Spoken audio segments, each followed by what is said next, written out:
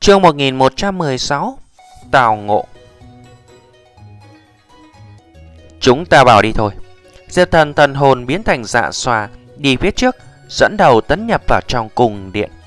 Tớ nghiên nguyệt theo sát sau Dạ xòa tiến nhập vào đại môn cung điện. Trong điện khoáng đạt kia, Khắp nơi là ngục mà u hồn. Ánh mắt bọn hắn hùng ác thô bạo, Lập tức tập trung trên người dạ xòa Đám u hồn Bị dạ xòa hấp dẫn. Đồng thời tử nghiên nguyệt là thi triển ẩn nấp bí thuật. Vòng quanh biên giới đại điện tới. Dạ ra nổi giận gầm thét. Cùng những ngục ma u hồn kia lẫn nhau rằng co. Trong đại điện là tràn đầy sát cơ. Dạ xoa kia cầm xuyên cực lớn, Giống như là một đầu hùng thú. Song vương lạnh lùng tương đối, Thỉnh thoảng lại phát ra trận trận tiếng hồ. Những ngục ma u hồn kia đối với Diệp Thần thần hồn biến thành dạ xoa Tựa hồ có chỗ kiêng kỵ. Chậm chạp không có lên. Chỉ đối với dạ xòa tạo thành vòng vây, Như thế là có chút vượt quá dự kiến Diệp Thần. Vốn tưởng là có một cuộc ác chiến. Bất quá lực chú ý của u hồn Đã bị dạ xòa hấp dẫn, Diệp Thần là không có tiếp tục khiêu khích, Mà để dạ xòa cùng những u hồn kia rằng co. Thời điểm lực chú ý của u hồn hoàn toàn bị dạ xòa hấp dẫn, Thân ảnh tướng nghiên nguyệt ẩn nấp tấn nhập phía sau thần điện, Biến mất cuối hành lang.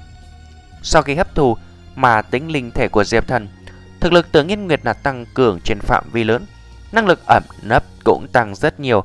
Chiến hoàng cường giả bình thường cơ bản không có cách nào phát hiện chỗ của nào Mà nhãn đứng bên cạnh Diệp Thần nhìn vào trong thần điện, Chú ý hành tung tưởng nghiên nguyệt.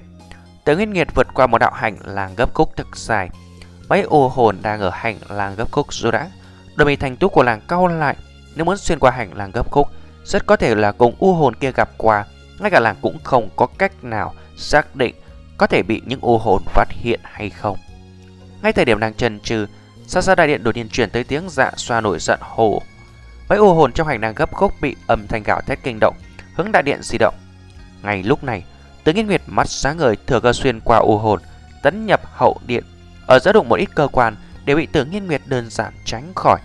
Ảnh sát nhân tộc với tư cách là thích khách thiên phú ưu tú Bọn đối với các đồ vật như cơ quan vẫn có chút nghiên cứu. Tử Nghiên Nguyệt tiến vào hậu điện đại khái một giờ rốt cuộc an toàn ra.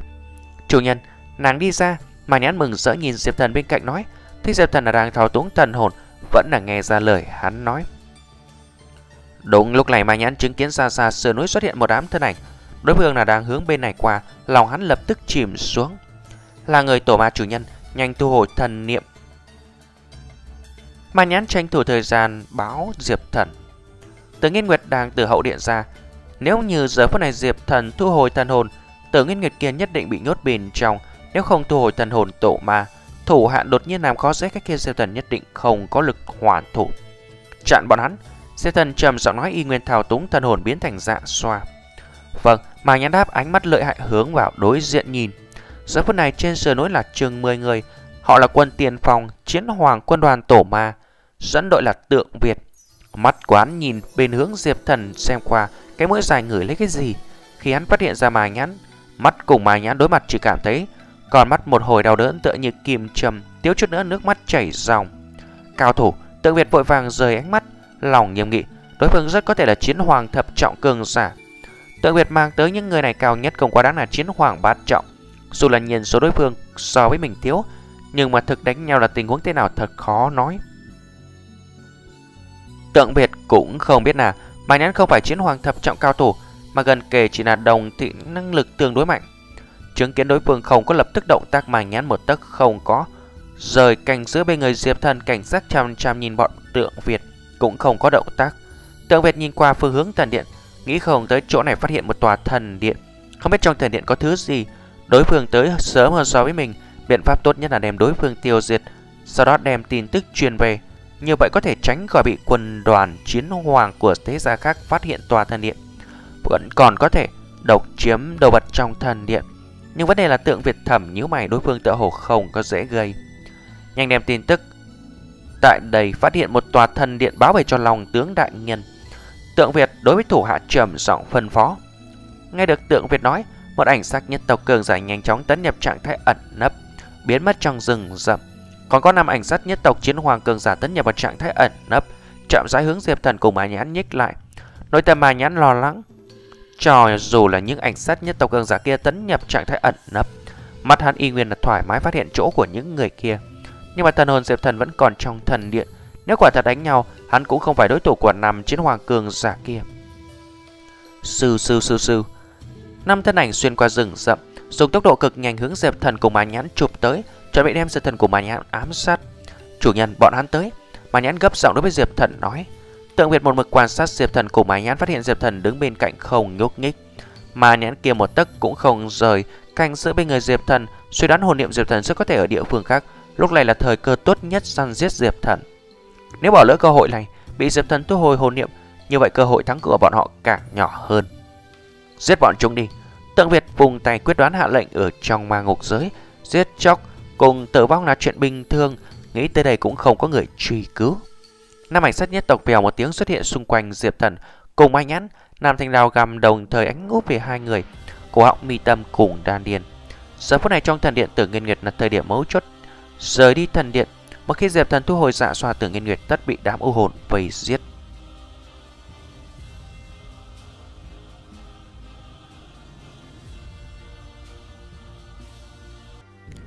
Chương 1117 Ảnh sát tộc nhân, Phần 1 Nam đạo hàn mang nhập thể mà tới. Chết, Trong mắt nam ảnh, nhất tộc nhân cao thủ bắn ra sắc cờ Ở lúc ngàn cân treo sợi tóc Diệp thần ý niệm trong đầu ghé động, Vèo một tiếng, Trên người xuất hiện một bộ Mà chàng chiến giáp đèn kịt, Mang đường vần huyết sắc cạnh mà nhãn cũng thuật, Đồng thời xuất ra mà chàng chiến giáp. Đinh đinh đinh đinh. Nam thành giò gầm trên mà chàng chiến giáp của Diệp thần cùng mà nhãn Toàn bộ bị cản xuống. Trên mà chàng chiếm giáp tràn ra từng đạo cấm chế đường vân, Tựa như nước gợn. Diệp thần cùng mà nhãn đều lông tóc ít bị tổn thương.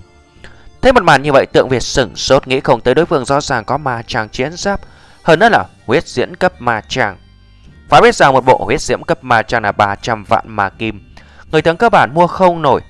Coi như là hắn ở tổ mà thủ hạ lâu như vậy, Tích lũy quá đáng cũng chỉ là 10 vạn ma kim chỉ cấp bậc như lòng tướng mới có tư cách phân phối huyết diễm ma tràng. Đối phương rõ ràng có thể sử dụng huyết diễm ma tràng, đồng thời xuất hiện hai bộ, thân phận đối phương tất không đơn giản. Chứng kiến huyết diễm ma tràng trên người đối phương, tượng Việt lập tức rút lui. Tuy bọn hắn có hơn 10 người, nhưng mà không phải ai cũng có thể phá rỡ huyết diễm ma tràng phòng ngự. Nếu đánh tiếp bọn hắn có phần bị ngược đãi. Đi, tượng Việt quát khẽ, chỉ có thể lùi về trước đem tin tức báo cho lòng tướng đại nhân nói sau. Nam ảnh sát nhất tộc chiến hoàng một cách không thành nhanh rút lui. Thời điểm Nam ảnh sát nhất tộc chiến hoàng thôi lui, thân ảnh tướng Nghiên Nguyệt từ cửa lớn thần điện lướt ra, mà Diệp Thần vèo thoáng qua đem thân hồn biến thành dạ xoa thu lại. Tượng Việt thấy tưởng Nghiên Nguyệt xuất hiện trong lối vào thần điện, sừng sốt một chút thần sắc lập tức chìm xuống, nghĩ không tới lời này phát hiện Tử Nghiên Nguyệt. Ngày đó hắn đem Tưởng Nghiên Nguyệt mất dấu, sau khi trở về bị Huyền Ngục đại nhân mắng một trận, Huyền Ngục đại nhân phái người tìm tỏi toàn bộ ngoại thành Thế chung không tìm được tử nghiên nguyệt, Cho nên bọn họ hoài nghi. Hẳn đã có quý tộc chứa chấp tử nghiên nguyệt. Về sau một thời gian ngắn, bọn hắn một mực tồn tại bốn phía nghe ngóng tin tức, Lại không thu hoạch được gì. Nghĩ không thấy rõ ràng ở đây tìm được tử nghiên nguyệt. Tượng Việt thật sâu nhìn qua Diệp Thần công Mai Nhãn. Diệp Thần công Mai Nhãn rõ ràng chứa chấp tử nghiên nguyệt. Huyền ngục đại nhân không thể buông tha. Nhiều ảnh sát nhất tộc bị khống chế như vậy Duy chỉ có tưởng nghiên nguyệt một người cắn nuốt ma trùng thoát ly khống chế. Huyền cơ trong đó ngay cả huyền ngục đại nhân cũng không nhìn thấu. Huyền ngục đại nhân phi thường coi trọng, vẫn muốn em tử nghiên nguyệt trảo về nghiên cứu huyết thống. Đối với tổ mà nhất tộc, loại huyết thống có thể thôn vệ ma chủng không thể nghi ngờ là cây gai trong thịt bọn hắn. Không thể để thả bọn hắn thoát. Sự thần thu hồi thần hồn, hừ một tiếng thân thể bắn tới, hướng một ảnh sát nhân tộc chiến hoàng bên trong đánh tới. Bọn tường Việt thấy rõ ràng cho thấy là muốn gọi viện binh, nếu đưa tới đoạn đội nhân mã, cách kia bọn diệp thần liền nguy hiểm. Đã được mệnh lệnh diệp thần mai nhát nổi giận gầm một tiếng, bọn hắn có được huyết diễm mà chàng đối với những người bình thường là không hề lo lắng, nghiền áp. Xa xa tưởng nghiên nguyệt thấy thế, lập tức triệu hồi huyết diễm ma trang thời điểm nàng nhìn phía tượng việt, mặt lóe lửa giận. Nàng tinh tường nhớ rõ thời điểm tại huyền ngục phủ đệ, tượng việt giết rất nhiều tộc nhân, ảnh sát nhất tộc. Ảnh sát nhất tộc chiến hoàng đều bị mà chủng khống chế một ít tu vị thấp kém, chỉ có tộc nhân thần huyền cảnh, ảnh sát nhất tộc. Bởi không chịu nổi ma khí ma trường trong cơ thể ăn mòn, thân thể suy yếu, những tộc nhân kia bị tổ mà nhất tộc không do sự xử trí. Mà tượng Việt đúng là một trong mấy cái hung ác nhất. Cho nên khi nàng lần nữa chứng kiến tượng Việt, cựu hận trong lòng tượng nghiên nguyệt có thể nghĩ. Nhân thần hợp nhất. Diệp thần quát một tiếng thân thể bắn ra đồng thời là bên ngoài xuất hiện một cái dạ xoa cự đại, đem thân thể hắn bao bên trong. Bành một tiếng, một tộc nhân ảnh sắt nhất tộc bị dạ xoa đánh bay ra. Dạ xoa thân thể khổng lồ giống như núi, giống dạ xoa gầm thét ném một cái cây cá xiên đem ảnh sát nhất tộc chiến hoàng khắc đinh trên đất. Diệp thần như lao vào chỗ không người vẻn vẹn một cái đối mặt đánh cho những người này không còn lực hoàn thủ.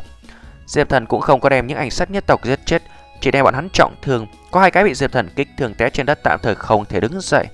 Bọn tượng Việt thấy mà kinh hồn táng đảm, mới giao tổ ngã xuống hai cái tiếp tục đánh. Tiếp là chết nhất định bọn hắn. Diệp Thần mà nhãn cùng tượng nghiên nguyệt bởi trên người có hết diễm ma trang cho nên công kích với họ không chút nào để ý. Liều lĩnh truy sát phía sau, bành bành bành một phen giao thủ, hơn mấy chiến hoàng cường giả bên tượng Việt ngã xuống năm cái, còn lại mấy cái tứ tán chạy như điên. Bất chấp gì khác, công kích bọn hắn đánh vào hết diễm ma trang cơ bản không khác nào đối với Diệp Thần mà nhãn cùng tượng nghiên nguyệt không tạo thành tổn thương. Tượng nghiên nguyệt chăm chú truy kích sau lưng tượng Việt, muốn đem tượng Việt đánh chết, nhưng mà thân là chiến hoàng mà tượng nhất tộc tốc độ chạy của tượng Việt thật nhanh. Thoáng chớp nè, chỉ còn thấy một tòa mây đen. Tượng nghiên nguyệt là mất tích tùng tích tượng Việt, không cần đuổi theo. Diệp Thần truyền âm cho tướng Nguyên Nguyệt mà nhãn thả người sau bên cạnh năm tộc nhân ảnh sắt bị thương, năm chiến hoàng ảnh sắt nhất tộc đều bị trọng thương, dĩ nhiên hấp hối, dãy ruộng nhìn bọn Diệp Thần, mắt tràn đầy vẫn hận cùng không cam, trên người quanh lấy khí tức tổ ma nồng đậm. Chủ nhân mấy người này sao giờ? Mà nhãn hỏi, mà bọn hắn nên tìm địa phương ẩn nấp. Diệp Thần quyết đoán, chúng ta phải tranh thủ thời gian ni khai nơi đây, nếu không đại bộ quần của bọn hắn tới, chúng ta không thể đi. Vâng. Mà nhắn khẽ quát một tiếng, xuất ra một cái luồng lực lượng đem năm cái thân ảnh tộc nhân ảnh sát nhất tộc nâng lên. Sư sư, ba thân ảnh nhanh chóng lao đi biến mất trong khu rừng tĩnh mịch. Tử Nguyên Nguyệt nhìn năm tộc nhân bị thương bên cạnh, mắt toát thương cảm thật sâu. Năm tộc nhân này làng đều có thể kêu ra danh tự, nhưng bọn hắn đều bị tổ mà khống chế, đã không còn phải là nguyên lai bọn hắn, cũng không nhớ rõ chính mình rồi.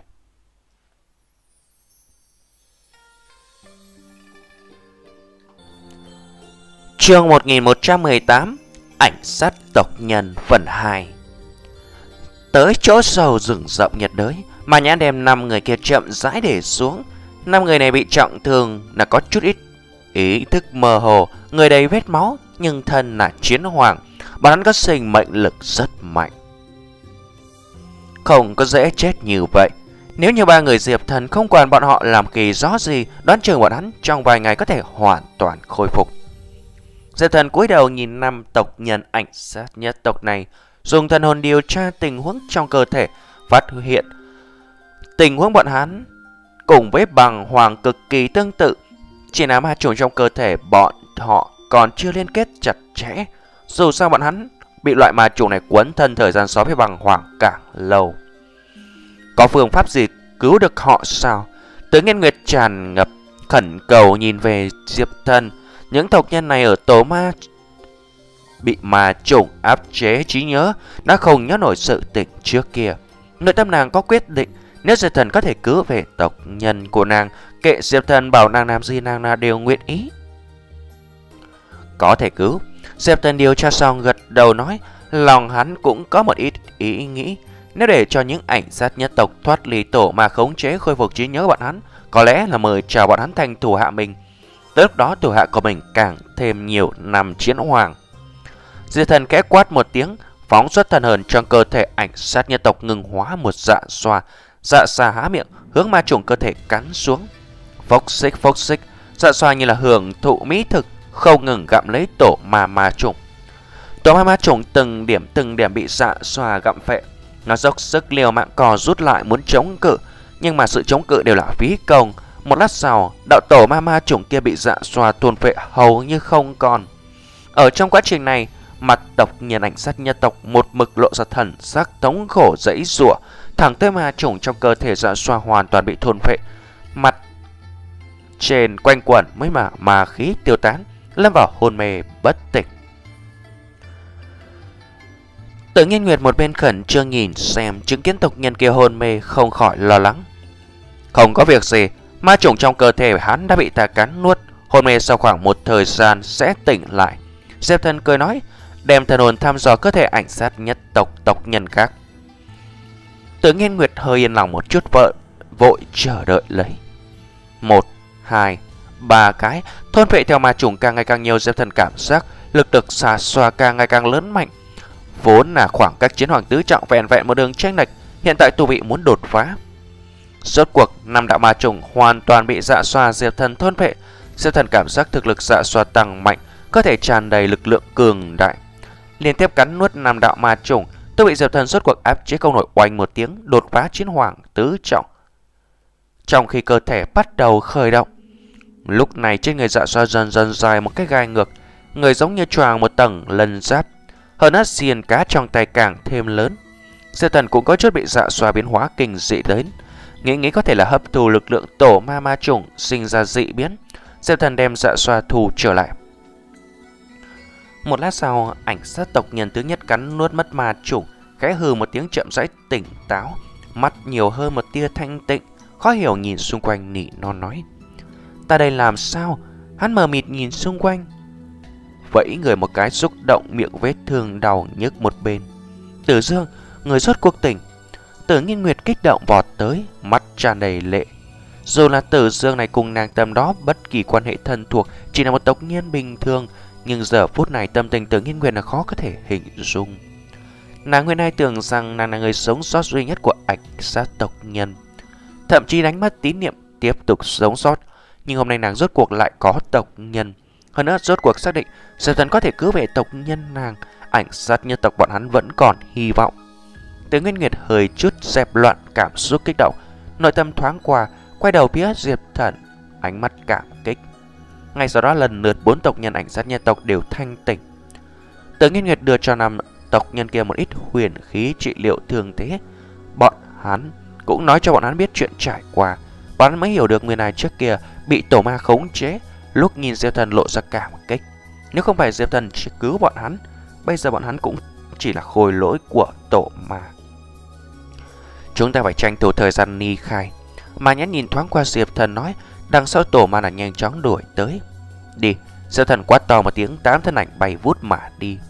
Xa xa trong rừng, Trên trạm chiến hoàng một đường bay vút tới, Đầu lĩnh là lòng tướng. Bọn hắn rơi xuống một chỗ Diệp Thần mới đặt chân nhưng lại thấy trống rỗng toách Lòng tướng đại nhân, bọn hắn đã đi. Tượng Việt bốn phía dò xét lờ mờ có lưu lại ký tức Diệp Thần. Người xác định nằm ảnh sát nhất tộc kia bị ba người kia đánh bị thương nặng.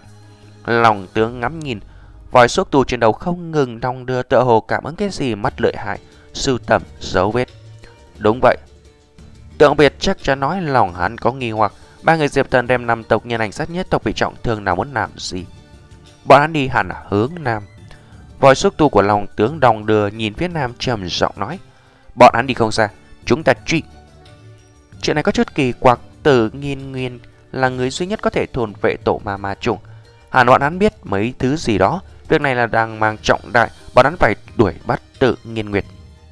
Lòng tướng ra lệnh, trăm chiến hoàng bay vút, hướng phía nam truy mặn lướt đi.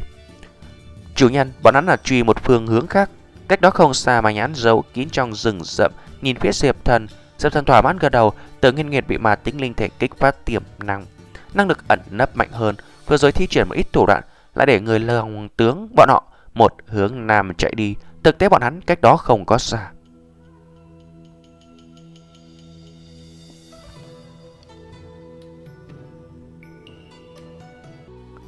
Chương 1119 Gậy ông đập lưng ông phần 1 Gặp lòng tướng mang người hướng nam đi, tất cả mọi người thoáng thở dài một hơi. Thần sắc tử dường có chút chân chờ tiến vào, đối với diệp thần nói, tự nghiên nguyệt nói các hạ có phương pháp có thể để cho chúng ta bị tổ mà chủng tập kích quấy rối, tăng cường thực lực. Diệp thần nhìn nhìn bọn tử dường gật đầu. Không sai, bất quá nói như vậy các người phải về sau nghe lệnh ta. Như tự nghiên nguyệt đồng dạng sao? Đúng vậy, diệp thần gật đầu vì có thể trở nên mạnh mẽ cứu về tộc nhân chúng ta để chúng ta làm cái gì đều nguyện ý. Chúng ta nguyện ý nghe lệnh các hạ, nhưng chúng ta có một điều thỉnh cầu. Tự dương nhìn bốn tộc nhân bên người, trên người lộ mang theo thương tích. Nếu không tranh thủ thời gian khôi phục tăng cường thực lực rất có thể ngay cả ngục ma giới ra cũng không được. Thỉnh cầu gì? Các hạ từ tay tổ mà cứu năm người chúng ta, ảnh sát nhất tộc ta đều là có ơn tất báo. Năm người chúng ta nguyện ý cả đời cùng phụ phụ dưỡng các hạ làm chủ, nhưng chúng ta hy vọng các hạ có thể giúp chúng ta cứu tộc nhân khác. Chúng ta nguyện ý lấy cái chết thuần phục đối với 500 tộc nhân tự do. Bọn tử dương nhào nhào quỷ đất, thần sắc thành khẩn.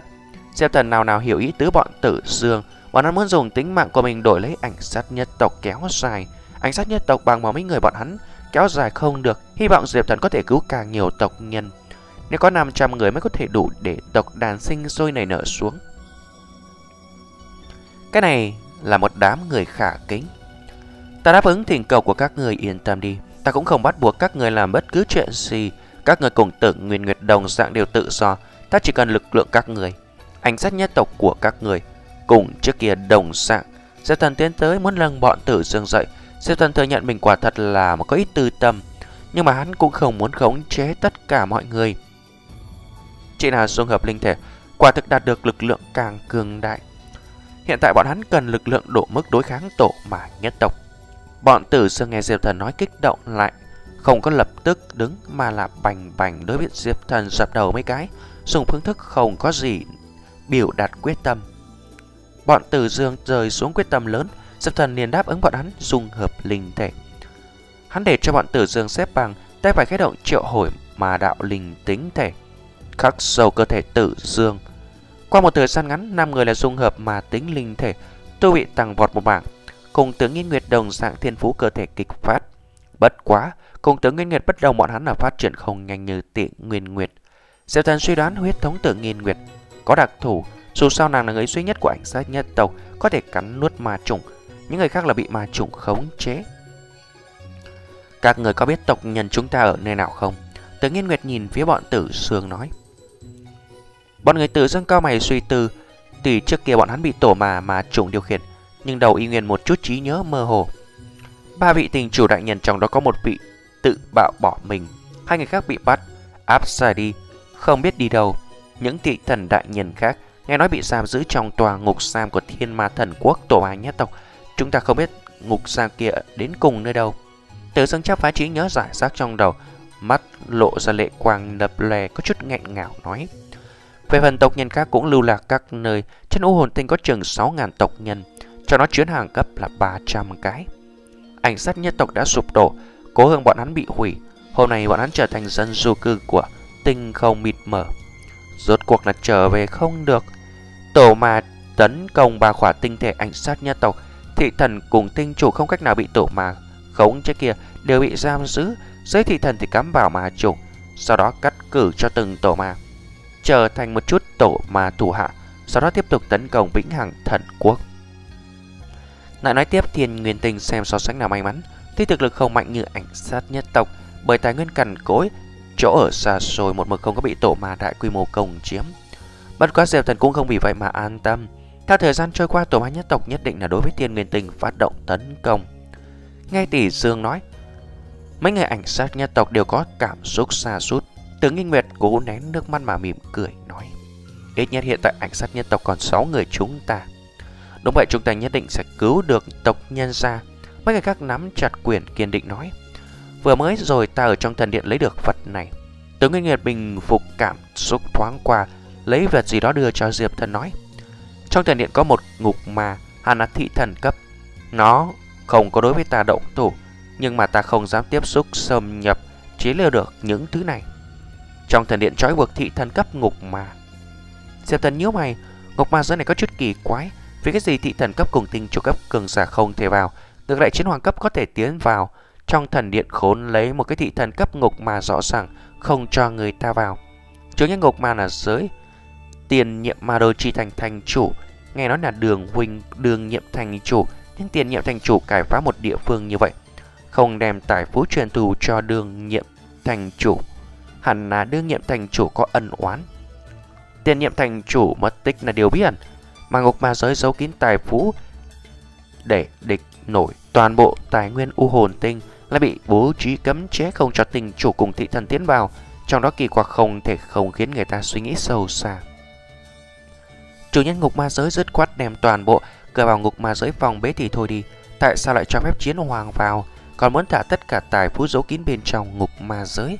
Diệp toàn trong lúc nhất thời nghĩ mãi không rõ, Nhìn nhìn đồ vật trong tay Tử Nghiên Nguyệt lấy được một cái thanh loan đào cùng một tấm bản vẽ không biết dùng tài liệu gì mà chế tác thành.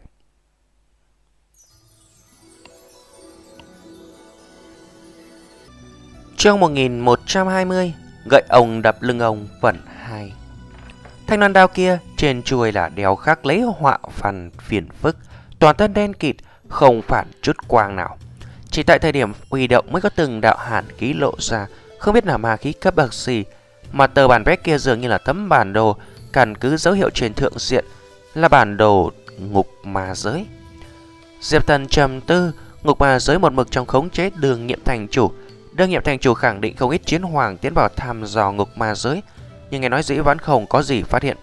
Còn lần này, nhiều chiến hoàng dũng mãnh mà vào ngục ma giới như vậy.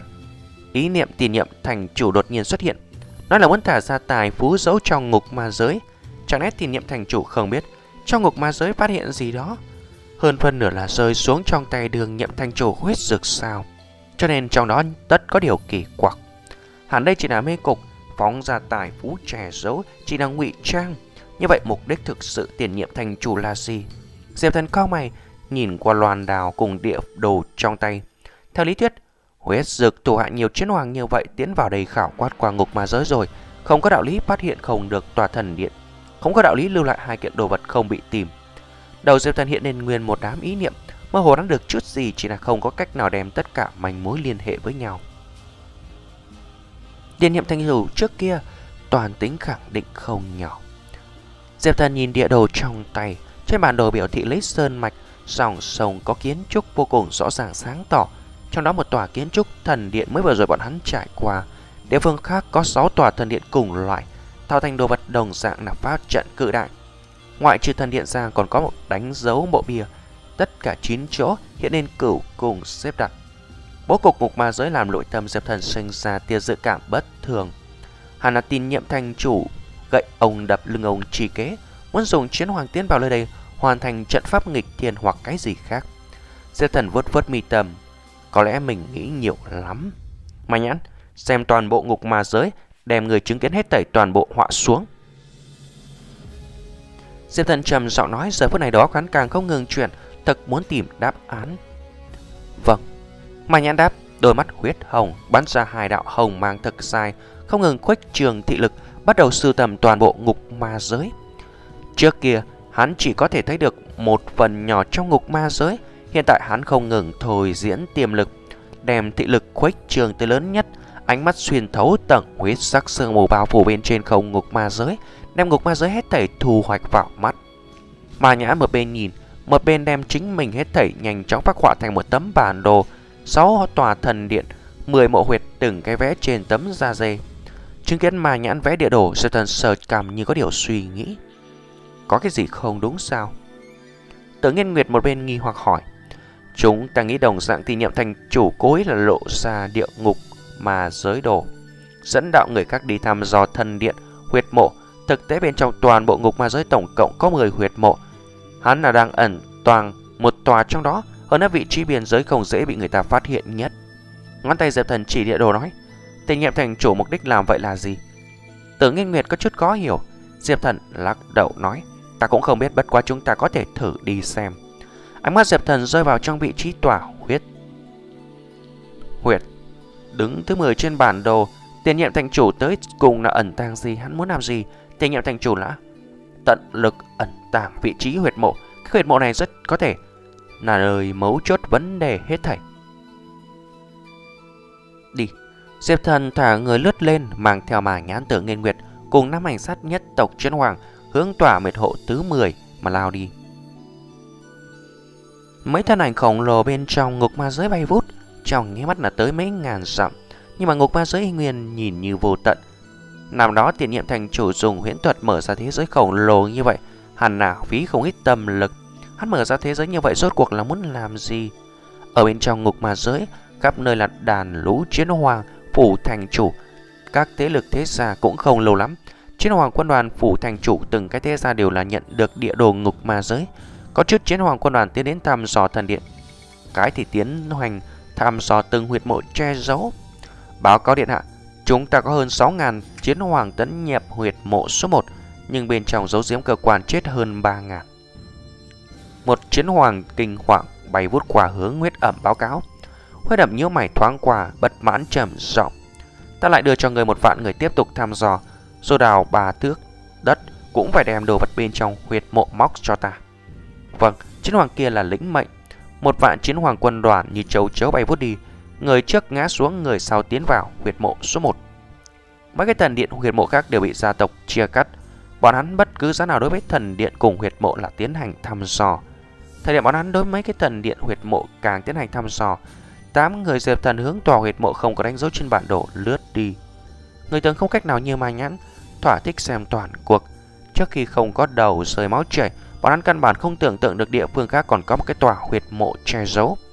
Bay vút đại khái một giờ sau, tám người diệp thần rốt cuộc vào, lối vào một tòa huyệt mộ. Tòa huyệt mộ này khảm nạm chính giữa sơn thể, cửa vào huyệt mộ là bò đầy rêu xanh, nếu không cẩn thận quan sát rất có thể dễ bị bỏ qua. Dù như vậy mà nhà giãn có thể bằng vào đồng lực ngoài mấy vạn cây phát hiện chỗ của nó. Cái này quả thực là có chút kinh người. Diệp thần nhìn thoáng qua mài nhãn, không biết mài nhãn rốt cuộc huyết thống gì. Huyết thống bình thường căn bản không có cách nào có động lực cường đại tới vậy. Trong huyệt mộ này có thứ gì? Diệp thần nhìn mai nhãn hỏi. Đôi mắt mài nhãn ánh sáng màu đỏ tăng vọt. Hướng cho sâu trong huyệt mộ nhìn lại. Tầm mắt hắn xuyên thấu huyệt mộ. Thấy được tình huống bên trong.